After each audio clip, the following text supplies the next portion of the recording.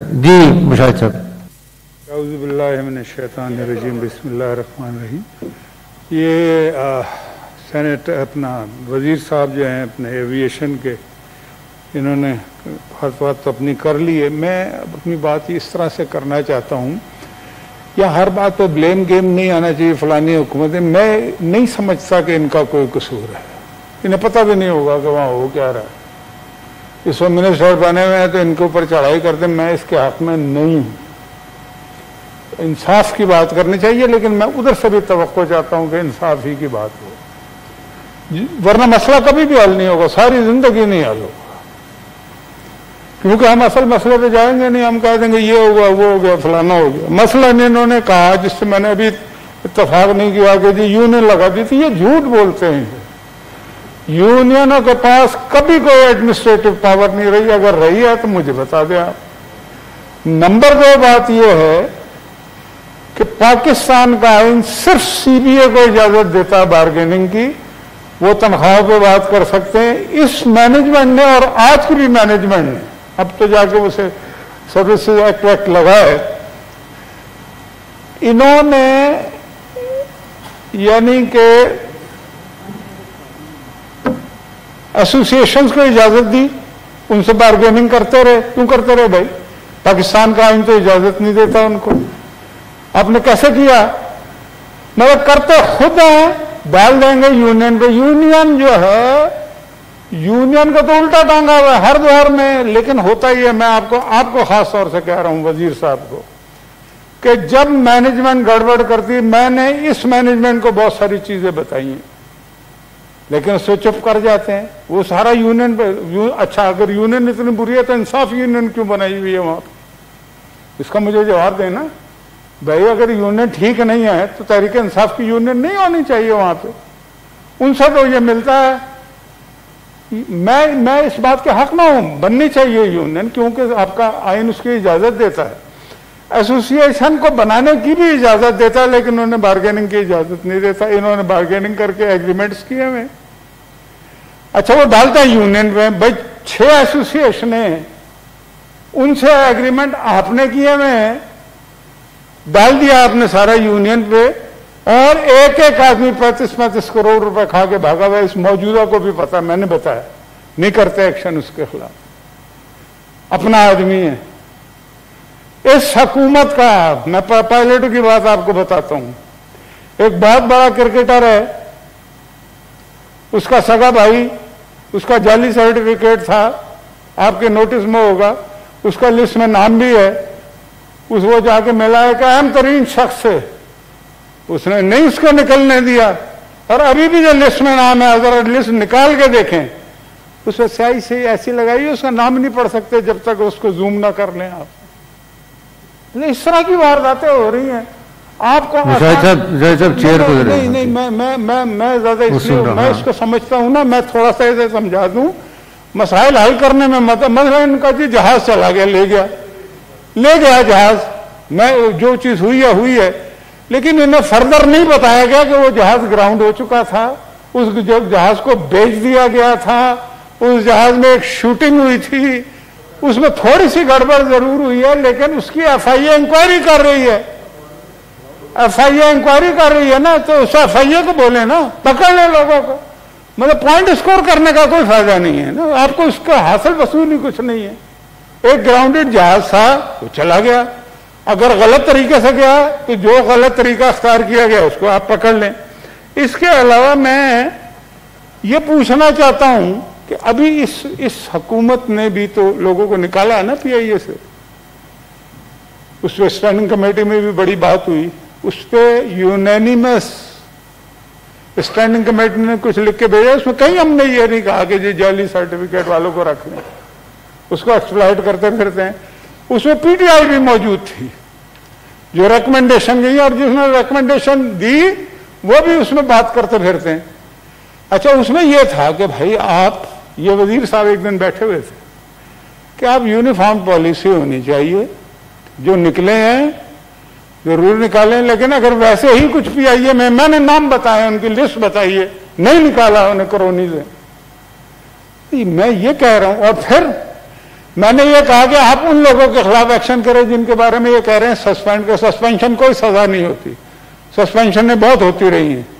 मैंने उस वक्त भी कहा, आपके सामने भी कहा, स्टैंडिंग कमेटी में भी कहा कि जिन अफसरों ने उनकी डिग्रियाँ चेक की थी उनके खिलाफ कोई अच्छा वो अगर गड़बड़ होती है, पैसे लेके होती है, ठीक कह रहे हैं। मेरे भी इल्म है अच्छा वो पैसे भी ले लिए हैं, उसके बाद भी लोग आए उनके साथ से भी पैसे लेते रहे, उनके खिलाफ आज तक तो कोई एक्शन नहीं। यही हाल सिविल एविएशन का पायलट को लाइसेंस दिया ना उन्होंने। मेरे भी नोटिस में है बहुत सारी चीज़ें, लेकिन भाई आपने उठा के पायलटों को तो ठीक है, कर दिया।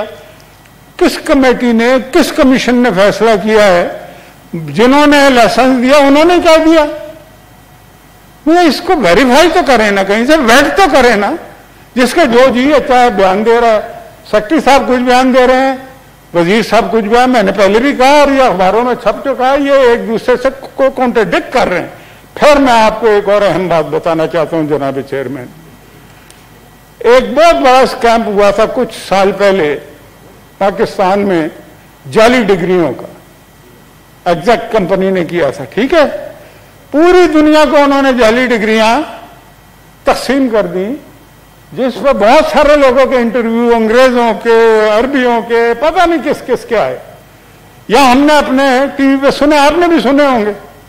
मुझे जरा एक बात बताएँ, मैं मिनिस्टर साहब से भी पूछना चाहता हूँ और प्राइम मिनिस्टर साहब से भी, कि इतना बड़ा स्कैम हज़ारों लोगों को जाली डिग्रियाँ दे दी गई, उन्होंने इंटरव्यू दिए दुनिया के किसी मुल्क के वज़ीर या वज़ीर आज़म ने ये नहीं कहा, जो इन्होंने कहा। अच्छा जो इन्होंने कहा, अगले दिन वज़ीर आज़म ने कहा, ये ठीक कह रहे हैं। शक्ति आपका कुछ कह रहा है। सिविल एविएशन कुछ कह रही है। पीआईए कुछ कह रही है। ये क्यों हुआ है? ये इसलिए हुआ है कि पॉइंट स्कोरिंग है।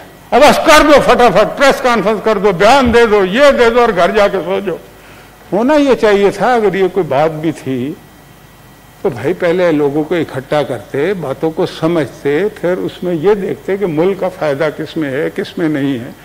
अब सिर्फ़ यूरोप में तैतीस अरब का रेवेन्यू लॉस है जनाबे। चेयरमैन बरतानिया का मुझे नहीं पता वो उस, उससे भी ज़्यादा होगा। अमेरिका का उससे कम होगा। बाकी और बहुत सारी एयरलाइनों में आप जा भी नहीं रहे। कोविड है वो एक अलग से सिलसिला है। तो अगर इस बात को गौर कर लिया जाता और पीआईए ने जो कंप्लाइंस नहीं किया, जिसकी बात रजा रब्बानी साहब ने की एयर सेफ्टी पे, उसको पहले एड्रेस किया जाता। तो इन्हें इन्हें तो ख्वार होने की ज़रूरत नहीं थी ना, ये तो खुद ख्वार हो रहे हैं। सिर्फ़ इस चक्कर में कि जी वाह हो जाएगी वाह नहीं हुई ना आपकी, आप, आपने मुल्क का बेड़ा गरक कर दिया एयरलाइन अब ये मुझे जरा खड़ी करके दिखाइएगा। जो कुछ एयरलाइन के साथ कर दिया, आप एक जहाज़ को रोते हैं आपने पूरे जहाज़ को, अभी आप कह रहे हैं कि 50 परसेंट लोगों को निकालेंगे। भाई क्यों? आप निकालने में कितने तेज हैं?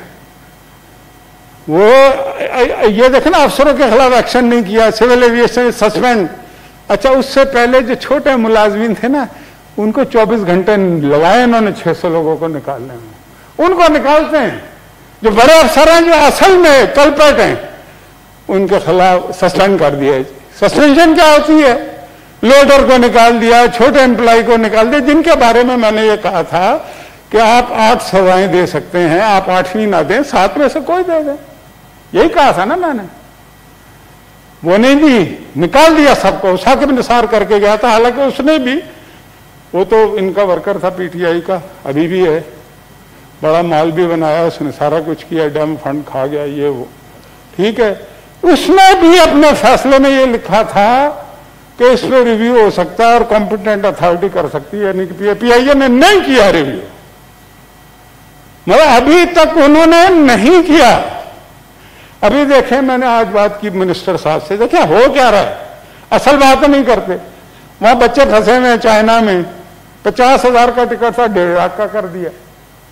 इन बातों पर कोई बात नहीं करता, सारा यूनियन पे डाल देते हैं, जिनका कोई तुक ही नहीं है। ये आज से नहीं हो रहा, ये सेवन सत्तर की दहाई से। अरबों रुपए के गलत फैसले करते हैं लोग माल खा के भाग जाते हैं पैंतीस पैंतीस पचास पचास करोड़ और ये यूनियन जी ड्यूटियाँ लगाती। यूनियन कहाँ से ड्यूटी लगाती है? और अगर ड्यूटी लगाती है तो ड्यूटी लगाना कोई मतलब के मैनेजमेंट का तो फैसला नहीं है ना उस तरह से।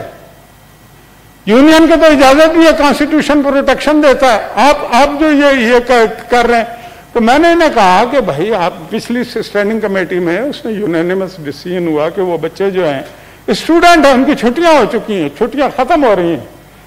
कि उन्हें पुराने उस पे रेट पे उनको स्टूडेंट को तो कम अज कम बिज़नेस फ़ैन होगा ना करें, उनको तो आने दें।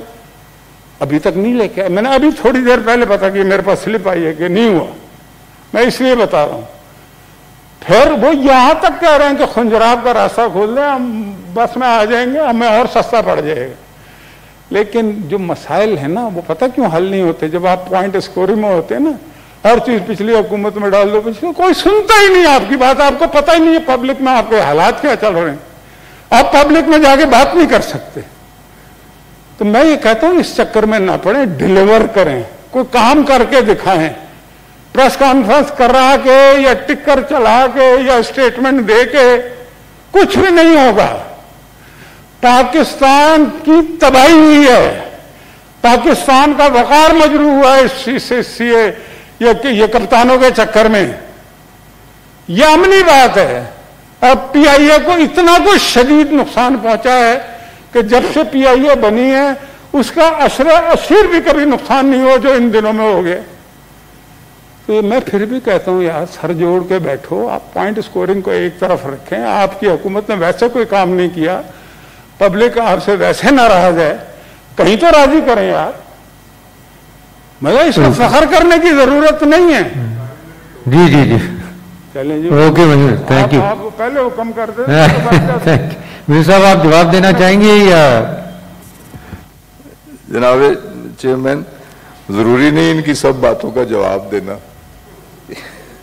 और मैं मुनासिब भी नहीं समझता लेकिन चंद एक बातें अभी जो स्टूडेंट्स की बात इन्होंने की, चाइना से कुछ स्टूडेंट्स ने आना है, और आपके यकीनन इलम में है कि रेगुलर फ़्लाइट्स नहीं है शेड्यूल फ़्लाइट्स नहीं है, और ये स्पेशल फ़्लाइट्स हैं स्पेशल अरेंजमेंट है बेली फ़्लाइट जाती है, यहाँ से खाली जा रहे हैं, वहाँ से स्टूडेंट्स को लेके आ रहे हैं।